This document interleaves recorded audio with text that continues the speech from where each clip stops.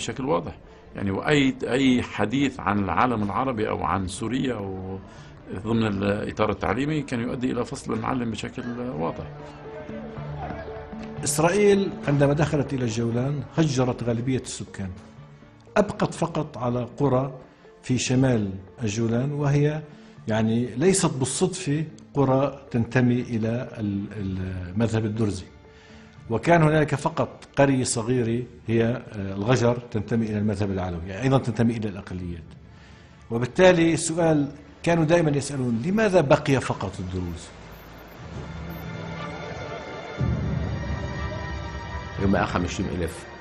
كانوا 150 ألف عربي. وأيضا شركس وهم مسلمون وليسوا عربا. معظمهم هربوا لكن غالبية الدروز بقوا مفترضين أن إسرائيل لن تؤذيهم لأنها تتعامل بشكل مميز مع الدروز في إسرائيل. رأوا أن هنالك فسيفساء طائفي ومذهبي قائم.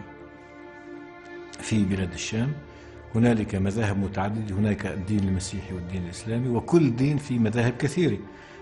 داخل الدين الإسلامي هنالك العلويين والسنة والدروز والشيعة وفي الجانب المسيحي هناك الأرثوذكس وهنالك الكاثوليك وإلى آخره. فبالتالي شافوا أنه ممكن أن يلعبوا على هذه التناقضات من أجل القيام بتفتيت المنطقة.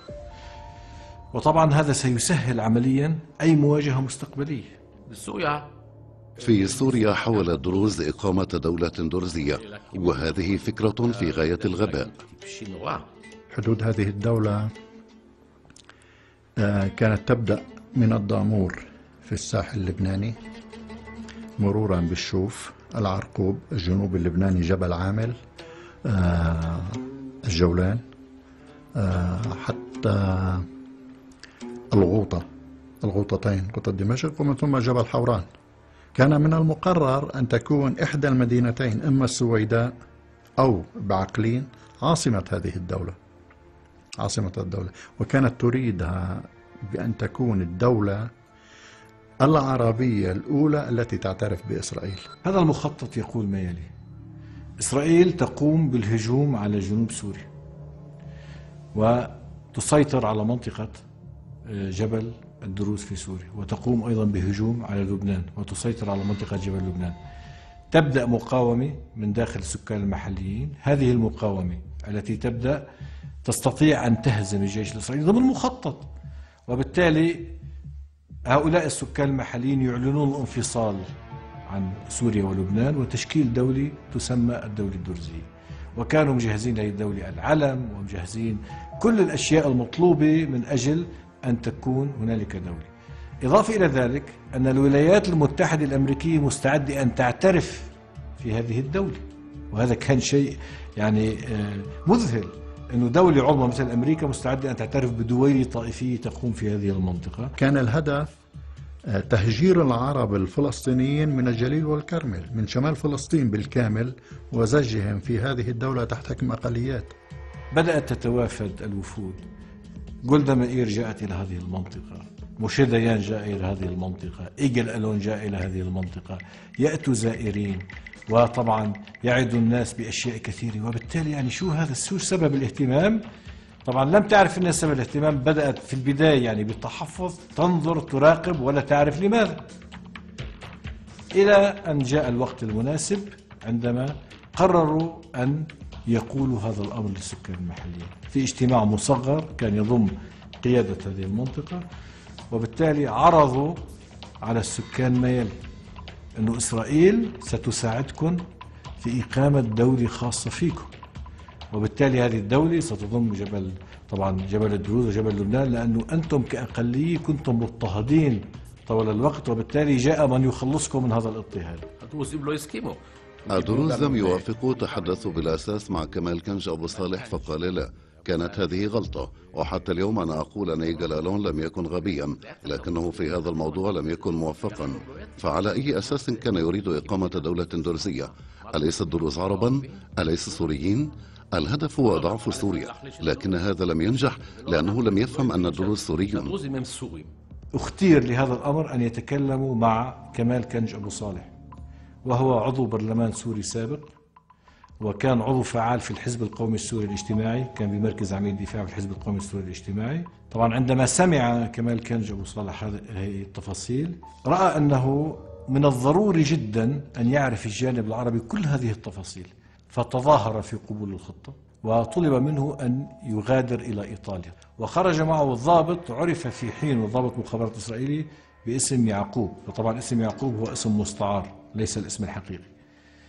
وهنالك في إيطاليا استدعى أو طلب كمال كنج أبو صالح استدعاء كمال أبو لطيف. كمال أبو لطيف هو ضابط في الجيش السوري سابقا وهو أيضا من الحزب القومي السوري الاجتماعي. جاء كمال أبو لطيف إلى إيطاليا بعد الاستدعاء فاستقبلوا كمال كنج على حدة وطلب من يعقوب أنه يجب أن أتكلم وإياه على حدة حتى أقنعه أولا في المخطط وبعدين ممكن أن نتكلم سويا. واتفق الاثنان على إفشال هذا المخطط حتى لو كان الثمن هو دماءهم فتظاهر كمال أبو لطيف أيضا بقبول المخطط وجلسوا مع, مع يعقوب وتظاهروا أمامه أنه نحن نريد أن نخبر القيادات في الطائف الدرزية وبالتالي يجب أن تعطينا كل المعلومات المطلوبة حتى يكونوا على بينة واطلاع ماذا سيجري. وبدأ بتناول المشروبات الكحولية وأعطوه حتى يشرب بشكل كبير. وبالتالي أخيرا بدأ يدلي بأشياء خطيرة جدا عن هذا المخطط. كل هذه المعلومات سمعها كمال أبو لطيف. وطبعا اتفق على أن يكون هنالك شفرة شفرة فيما بعد في الرسائل. هي الشفرة التي اتفقت بين يعقوب وكمال أبو لطيف في حينه. بعد ذلك تم صياغة شفرة بدون علم يعقوب بين كمال كنج وكمال أبو لطيف. وغيروا أخذوا نفس الكلمات ولكن غيروا معانيها. وقام كمال أبو لطيف بإخبار آه، كمال جنبلاط كمال جنبلاط في حينه فورا سارع من أجل إبلاغ القيادة السورية بما جرى. ثم بعد ذلك بحكم العلاقة القوية اللي كانت قائمة بين كمال جنبلاط وبين جمال عبد الناصر أبلغ كمال جنبلاط الرئيس الراحل جمال عبد الناصر عن هذا المخطط وعن نية إسرائيل القيام بهجوم آخر. والآن هنالك حرب استنزاف وهنالك وهنالك على الجبهة المصرية طبعا بعد الهزيمة هنالك إحباط كبير. عندما علم الرئيس جمال عبد الناصر بهذا المخطط فورا كلف ضابطين بأن يذهبوا إلى العراق وإعداد جبهة لتشكل خط دفاع ثاني في حال هجوم إسرائيلي على سوريا. لأن سوريا بعد خروجها من الحرب 67 لا تستطيع أن تدافع. عن نفسها وبدأ الحديث يدور أن هنالك نية إسرائيلية لهجوم آخر بدأت تتفتح عيون إسرائيل حول الموضوع. عاد كمال كنج مع يعقوب إلى هنا إلى الجولان.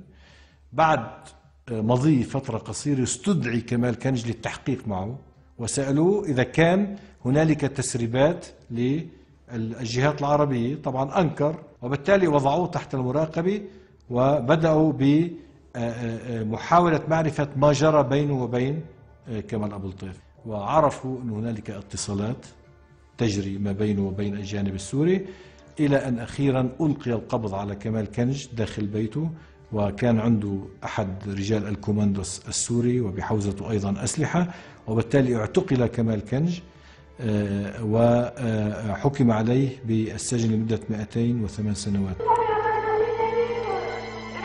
لو نصبك يهدي معه الله يسعدك يا أخي الله يسعد الصبايا روحي يلد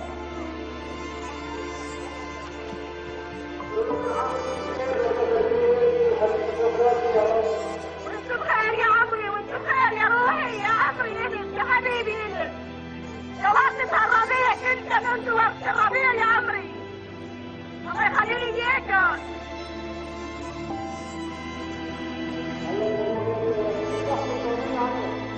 别欺负妈妈，咱们阿姨咋办？